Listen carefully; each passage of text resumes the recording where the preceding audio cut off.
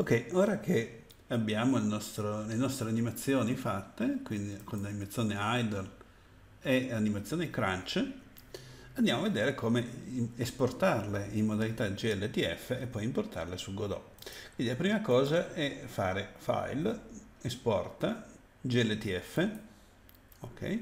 E poi qua eh, eh, occorre eh, fare un po' attenzione, cioè bisogna innanzitutto assicurarsi che siamo in modalità oggetto, selezioniamo almeno la mesh 1 e shift anche la sua armatura, così lui salva diciamo, le cose selezionate. E poi quando andiamo a fare l'esport di GLTF20 andiamo ad accertarci che siano uh, cliccati uh, un bel po' di cose quindi direi che su qua va bene così sulle mesh va bene oggetti non ci interessa. E sull'animazione ci accertiamo che stia eh, esportando le animazioni. Nel dubbio mettiamo tutto. Così cioè, questo genera un file leggermente più grosso ma al limite non perdiamo le animazioni quindi le animazioni cerchiamo di esportare tutto. Ok allora esportiamo a questo punto il batterio video lo chiamo adesso giusto per distinguerlo dalle altre cose che ho fatte. E ehm, se faccio l'export ci piego un attimo. E abbiamo il batterio video scaricato batterio video. Eccolo qua sono 671 kilobyte mm. Ora andiamo in eh, Godot e qui eh, arriva il punto interessante e ci creiamo un nuovo progetto che ci chiamiamo batterio. Creiamo il folder, create and edit e qui la cosa importante è di andare a mettere il GLB lì dentro. Ora, non sempre funziona, ma quando funziona è interessante nel senso che possiamo prendere batterio video, questo, e spostarlo direttamente mettendolo qua. Ok, adesso ha funzionato.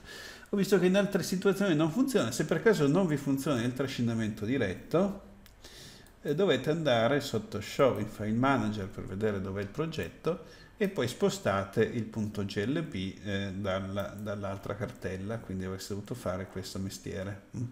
Io non ho capito con quale criterio, forse dipende anche dalla versione di, della beta, comunque eh, a volte lo fa e a volte no.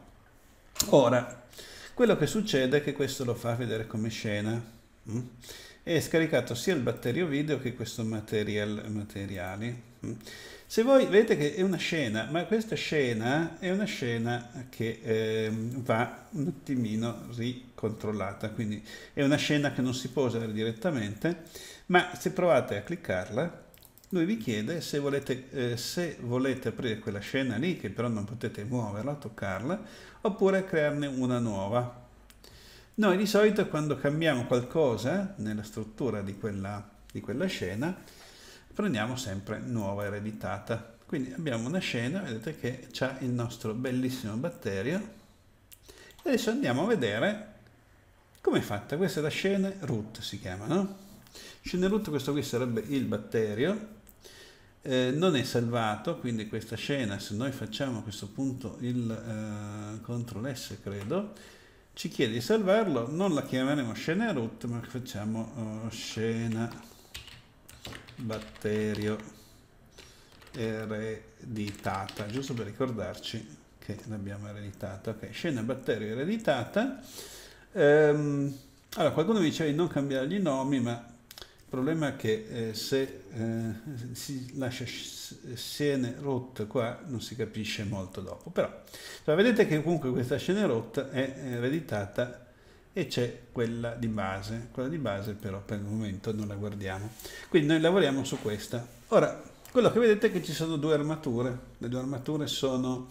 Allora, c'è una mesh e ci sono delle armature che servono uh, sostanzialmente credo che siano i due pezzi di armatura quindi eh, i tre pezzi che abbiamo visto ma poi c'è quello che è importante l'animation player e se andate a vedere l'animation player vedete che lui vi ha esportato sia il crunch che l'animazione idle, che è questa, e durano tutte eh, su eh, ecco, le ridotte, perché quando fa vedere questo, che durano un pochino meno di 4 secondi, è perché c'è una leggera eh, ehm, variazione del numero di frame per secondo. Quindi questo, vedete, vedete che questa animazione dura 3 eh, secondi e 33 secondi, e invece prima abbiamo visto che erano, noi ci aspettavamo che fosse 4 secondi, in realtà ehm, erano, uh, cos'era, 80 quindi a 30, insomma. Comunque sappiate che quello che interessa è che l'animazione c'è. Se per caso l'animazione fosse troppo lenta, adesso la vediamo e le correggiamo. Quindi per vedere l'animazione è sufficiente fare il play su questo e quindi se facciamo il play vedete che abbiamo il nostro, il nostro batterio che oscilla e fa tutti i suoi mestieri con i suoi ossi, piede, testa, corpo. Mm? Vedete che fa una sola animazione di questo tipo e poi si ferma, quindi noi per farla eh, perenne dobbiamo cliccare qui dove dice loop. Allora se facciamo il loop l'animazione vedete che va su e giù e quindi si è fatto il nostro mestiere. Mm? Se vogliamo vedere il comportamento dell'altra animazione, che è questa, crunch, andiamo su crunch, qui andiamo su 0, facciamo play e vediamo l'animazione di crunch. Vedete che c'è anche qui quel, quell'ingrossamento. Abbiamo anche qui il problema del, del fatto che deve ripeterlo, quindi facciamo così, vedete che lui a questo punto l'animazione la ripete.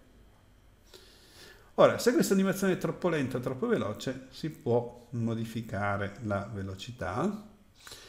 Um, la velocità è... Eh, allora, qui tra l'altro gli snap sono il, numero di, eh, sono il numero di modi in cui quanti ne ha fatti per ottenere la, la risoluzione. Di solito il, il default lui calcola partendo dalle keyframe quante posizioni intermedie. Se vedete che eh, diventa troppo eh, che va troppo a scatti dovreste ridurre questo numero a un valore più piccolo ma direi che in questo momento va benissimo Okay. Quindi abbiamo le animazioni e poi farle due dovete tipicamente sceglierne una e dire che questa è l'animazione di eh, autoplay. Quindi facendo così autoplay, quando viene caricato questo oggetto in una scena, questo oggetto si eh, muoverà automaticamente.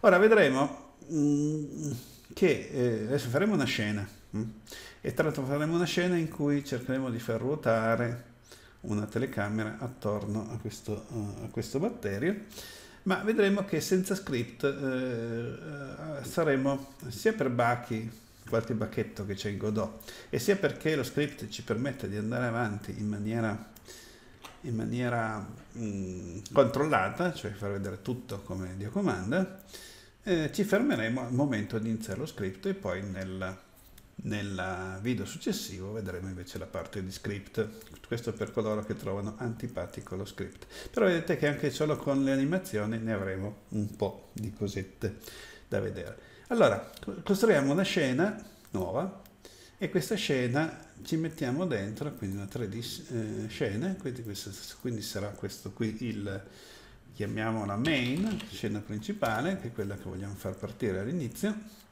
e dentro questa scena facciamo CTRL S main, ce la salva.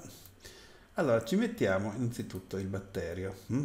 La scena batterio ereditata, questa. Okay. Quindi c'è il batterio. Sappiamo che per vederlo dobbiamo aggiungerci una telecamera. Alla telecamera facciamo figlia di main più camera. Mettiamo la camera 3D. Camera 3D ora è messa lì. La mettiamo in modo tale che, che veda il batterio, la, la, allontaniamo un po', andiamo in anteprima per vedere se ce lo sta vedendo, mm. allora dobbiamo alzare un po' la telecamera, clic, stiamo un po' più in alto, clic, ok, già questo potrebbe andare bene, ok, ora eh, se lanciassimo questa scena, credo che proviamo a vedere, quindi lanciamo questa scena, quindi facciamo il play di questo, lui ci chiede qual è la scena che vogliamo lanciare come main ed è main, ok? E vedete che uh, sta Ah, eh, ecco, però ecco, l'unico problema è che non è andata in loop l'animazione. Mm.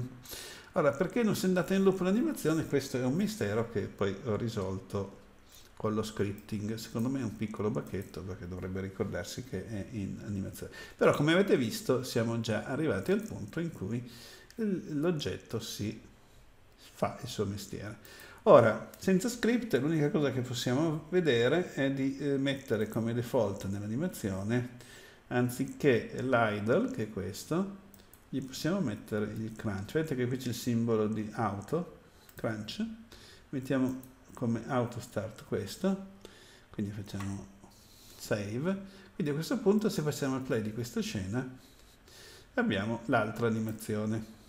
Vedete che senza script abbiamo il problema che vediamo solo un'animazione per volta e che non riusciamo a fargli l'animazione insomma persistente o almeno io non ci sono riuscito ora questa scena io per farla un po' meglio ci ho messo uno, un, una specie di piano sotto così si vede.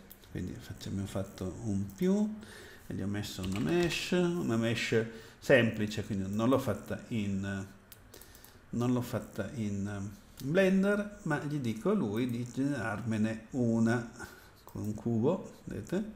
Questo cubo è un po' come in Blender, qui c'è una specie di mini Blender in pratica interno, facciamo così, questo cubo lo facciamo un po' largo, facciamo un po' più sottile, così diventa un piano, hm? e poi andiamo nel movimento questo, facciamo un po' più basso, ok quindi quello che abbiamo ottenuto adesso ah questo gli ho messo nella scena del batterio interessante ehm, vediamo un po' se funziona, funzionerebbe sì, più o meno ci sta. Non viene influenzata dall'animazione um, in realtà io l'avrei voluta mettere nella scena di là. Quindi qui possiamo fare eh, ecco il problema che ho è che non, non c'è un copia quindi per, eh, c'è ancora questo piccolo problema, a meno che no, questo piano non gli faccio un ehm, salvaramo come scena, no? quindi lo faccio diventare eh, piano,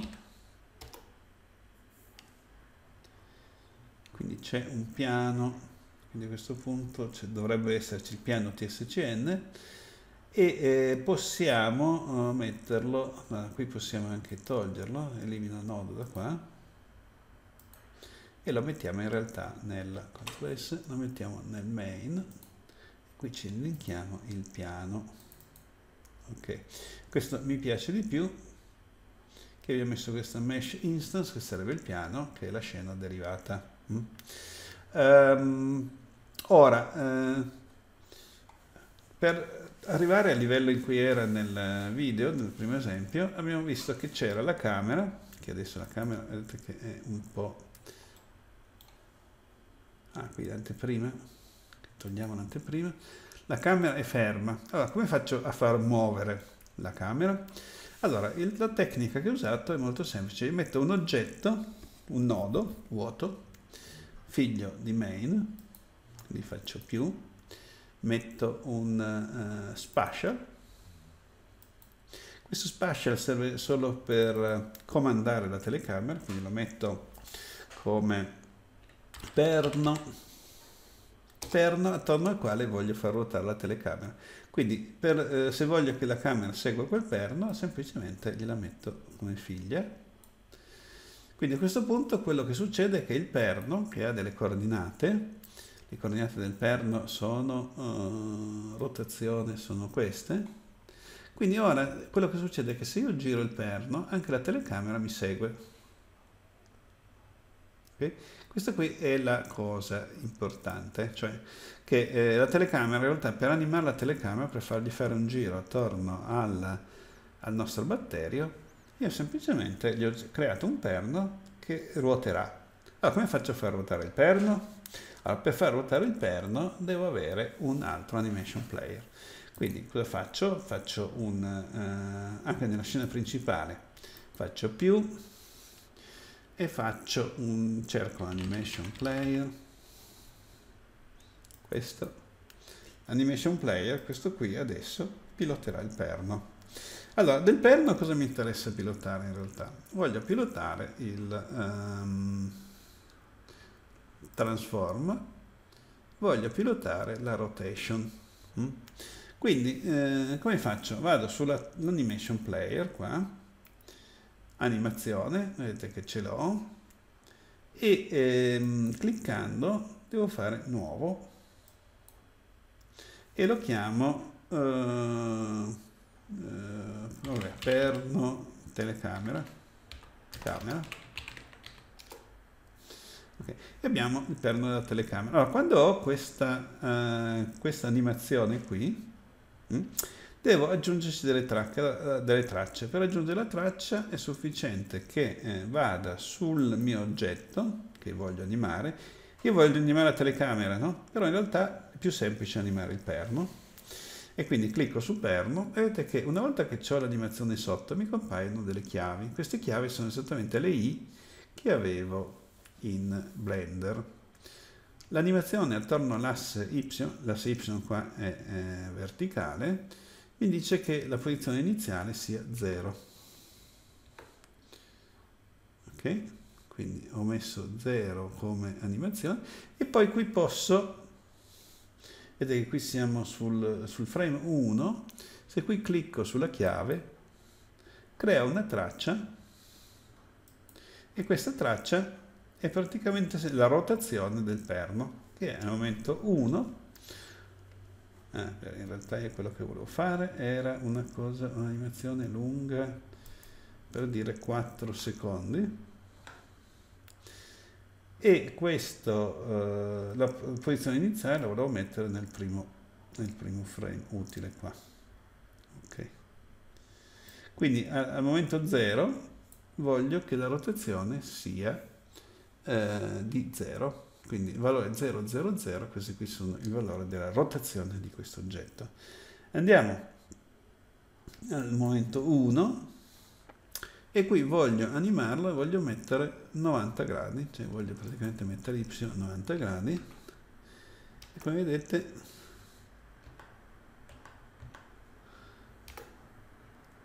uh, main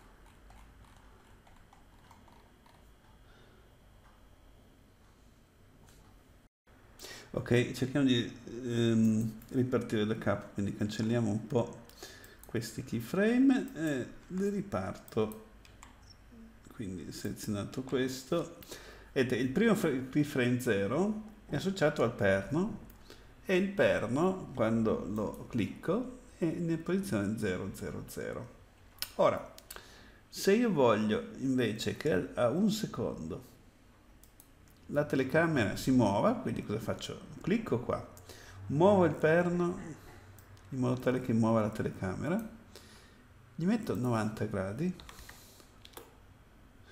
e poi aggiungo la chiave. Vedete che ho aggiunto questa chiave, ora vedete che lui effettivamente assume tutte le posizioni intermedie tra 0 e 90 gradi. A questo punto andiamo a 2 uh, a 2 e gli mettiamo la rotazione del perno 180 e quindi lui vedete che è andato dall'altra parte. Eh, aggiungo la rotazione.